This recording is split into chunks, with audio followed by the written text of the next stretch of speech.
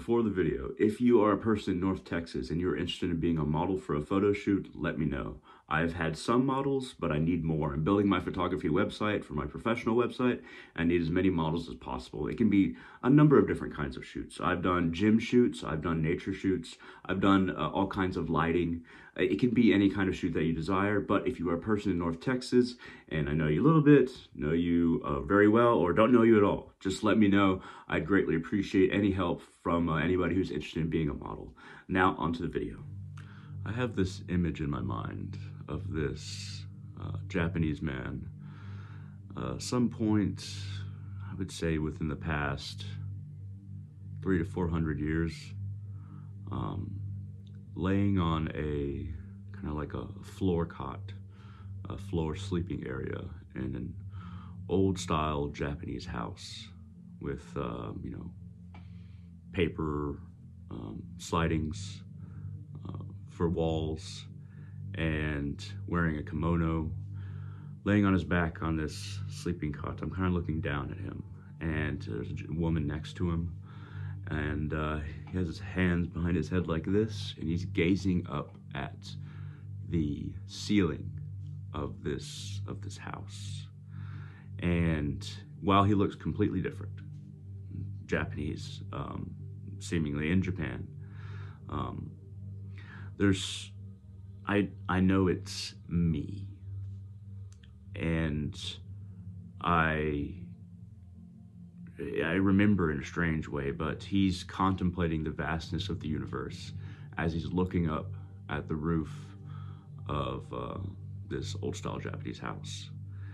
And he, I, I, get the sensation that he's a samurai of some sort, not a, not a well known one, uh, not a wealthy one, but just a samurai your average samurai.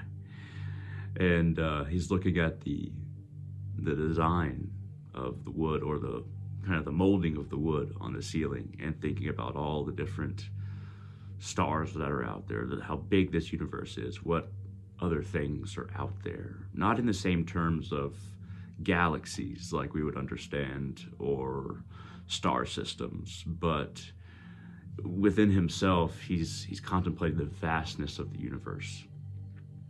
And this strange sort of memory kind of um, it clicks for me in a big way because when I first looked up the definitions of all the different religions, I, I was about seven years old.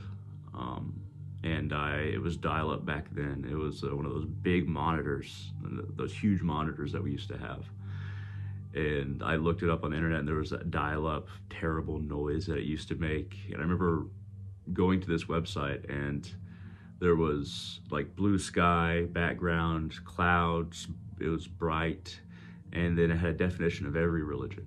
And I remember reading them reading them all and sticking on Buddhism and reading Buddhism and talking about ending suffering. And I remember looking up sitting back in the computer chair, looking up at the ceiling and seeing all the different white, it was a white ceiling, uh, all the white paint splotches, and thinking about how many galaxies there were out there and how small we are compared to the vastness and how how other life forms are probably out there. And uh, I, I don't know how that being seven, I knew about. I guess at seven, you kind of know that there's that there's more galaxies in the Milky Way, I, I assume. Um, but I remember while having this contemplation, thinking about Buddhism, and that really hitting home for me in a in a in an old memory kind of way. Like there was something about my soul that I was like, Buddhism clicks. And that's the first one I started studying. Um, but I didn't kind of gain my brain didn't make all the synaptic connections until you know fairly recently to have this memory of this Japanese man that I was, who was me, both, um, of having that old memory of, of a former life, uh, of a former birth that I had. Um, and uh, a lot of things didn't really click around that particular birth until recently as well. How I bow before the Divine Mother. I bow in a very Japanese way, though I, I didn't copy it from anything. And usually, you don't bow in this way to Kali, uh, um, to an Indian uh, goddess. But uh, and my meditation cushion, and the idea of not of fearing pain less than humiliation, and you know my interest in Buddhism. Um, but you know, I, all these things didn't click in my head until recently, but they, they've all always kind of been there. Now, do we carry past tendencies from our for, former lives into this one? I think that we do, but I think that it depends on the birth.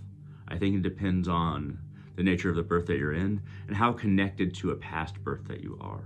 There's probably a there's probably many tendencies that I have that are connected to former births that I kind of habits formed in former, former births um, that haven't clicked in my head yet, haven't become a, a succinct um, old memory or realization about these memories. Uh, the the soul itself, while we will always look different, we might have a different gender, and we might have wildly different personalities, different political views, different religious and spiritual views or lack thereof. All of these things change, but they're they're all potentialities that kind of surround our soul in a very unique way. And through understanding these tendencies, through understanding these potentialities, and through meditation and revelation of these memories, we can get a better picture of what is the essence of our soul, what is the nature of our soul. Because all the former births, all the former, former people that we were, our soul was, our soul, who we really are, was in them. And for whatever reason, these tendencies came out in this or that fashion. I think that the obsession over past lives, um, it's kind of Victorian in a way because there's not an obsession over past lives. In India, the way that it is in kind of like New Agey in the United States, um, because there, there are so many. And our soul, we should, we should touch our soul. We should become one with our soul rather than any kind of allegiances or any kind of people that we've been in the past. They all matter. They've all been recorded by our soul. They've all been recorded by our uniqueness. And that uniqueness perpetuates. Anything that you are right now, that that can only manifest with the soul that you are. And every soul is slightly different overall, you know, you can think of light, um, just light kind of reflecting all col- colors, but at the same time, we experience all the colors um, because they're reflected back at our eye in a way, instead of the colors being soaked up. Um, I guess what I'm trying to say is that, in a way, while every soul might be a different part of the same light that we are all going to join with once more, they are a different, slightly different frequency, a slightly different variation, a slightly different manifestation of that light in a way that we can view across time. And then once total reunification happens, once enlightenment, moksha, whatever you want to call it, complete realization of our innate, innate godness, and we merge with the source once more, all of that is preserved. Don't think that you will be lost. And don't think that your soul is just the same as every other soul. It's all a different part of the same whole that we're working back to. But you're, you're unique, you are special, and you are significant.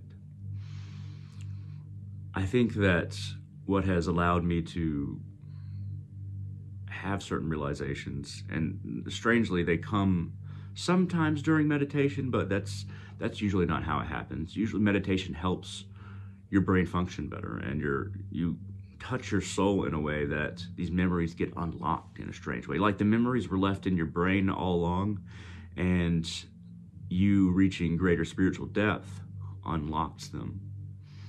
Now, I'm sure there's plenty of people out there, and maybe even me, while I'm sure about my mem- my past life memories, doesn't mean I'm correct. Could be wrong.